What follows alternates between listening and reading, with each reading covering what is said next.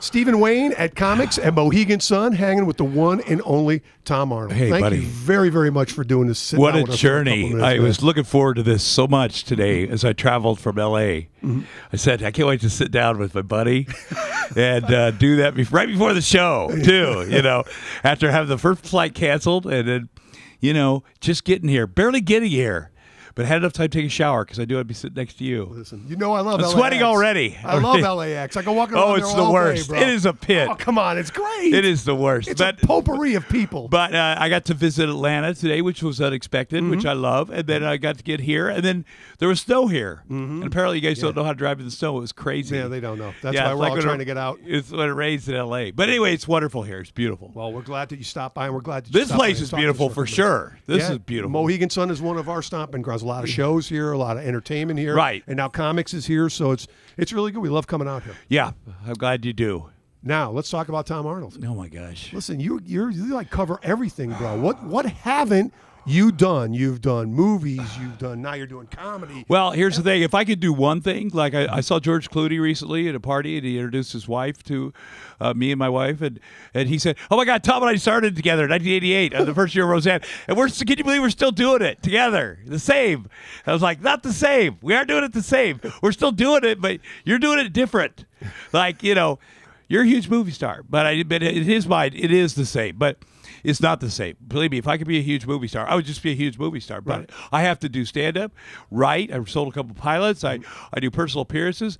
I do it all. I, I act in movies and TV and uh, going back to NCIS uh, uh, New Orleans next week. And yeah, I got to keep juggling because I'm a 57 year old man with a three year old and a 10 month old kid. so figure that out, man. So what draws you to comedy? Well, that that I get to, you know, for one thing, stand up comedy is what I started doing in 1982. I mean, I worked at a meatpacking plant for three years after high school at Hormel to save enough money to go to the University of Iowa so I could work for my uncle's stockbroking firm. That's all. And the second someone offered me fifteen dollars to do stand up comedy for a weekend, I quit college after working in a meatpacking plant for three years to save the money. It was a stupid, crazy decision. But uh, and if my son said he was going to do that, I would, you know, put him in a headlock. but uh, it's something I've always loved, and you know, then I got cut up in it. And you know, what's also nice is. You know, two things happen. You get an introduction, this fantastic introduction about all the movies you've done, all the things you've done, and then you spend the next hour destroying that. You know, making fun of yourself, and uh, and you could go if the audience knows at the end of your journey, because I tell real personal stuff, that it turns out okay. You know, then you go pretty dark on your. Right. the many mistakes you've made, and you can be pretty honest about your screw ups, Right. And uh, and they'll go along with you because the audience ultimately they're rooting for you. You know, they don't want to come here and be all bump, you know, like it ends terrible, Right. You know, so you know they want to know that you're not a jerk, that you don't you're not there making banging on your ex wives. You know, that's not what you do, and that you're you know that the things are okay. And so yeah, that you're a little different than other people, and it's uh, that you're glad they came. Well, we're glad that you came to Comix. Your favorite Schwarzenegger movie? Uh, my favorite, you know, I, I, I'm so, uh, selfish, but I love the True Lies is my favorite because he was not only the hero, but he was a flawed hero. And the second guy got to make fun of the hero. And that never happens in a movie where the hero, because he was a hero in every other movie, or the Terminator, even the bad guys, he was a hero.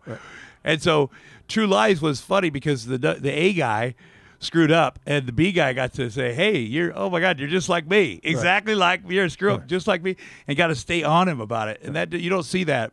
And Arnold played off of really well. Nice. Played the vulnerable thing. So I like it. But you know, I love the freaking Terminator movies too. Right, right. Comedian that inspired you.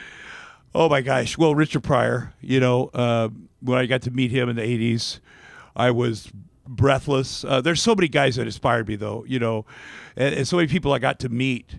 You know, uh, George Carlin and so many. I mean, leaving people out. You know, Jackie Gleason was a big inspiration. he was a comic Bandit. actor, yeah. But I mean, it, just from the Honeymooners, Right. As a comic actor, as a vulnerable big guy, as just a timing that just what he did at the Jackie Gleason show and Favorite band?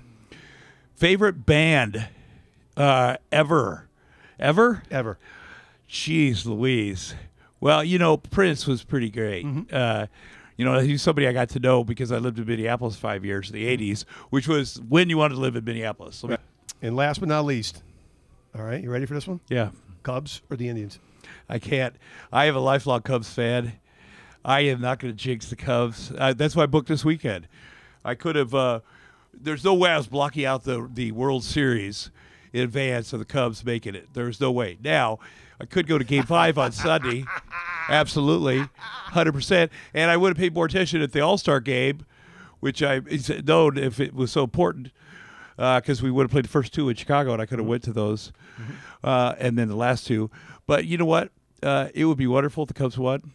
I guess it'd be okay if the, the Indians won. It's okay either way. Cubs- But I knew you were a big Cubbies man. Huge, so, huge. So I knew I had to I had to get that in there at some certain point. It would mean a lot. It would be mean a lot to be in a lot of people. And All really man. Appreciate Thank it. you, buddy. Tom Arnold, Comix and Mohegan Sun. Oh, by the way, you're here all weekend. I am. Okay, how many shows?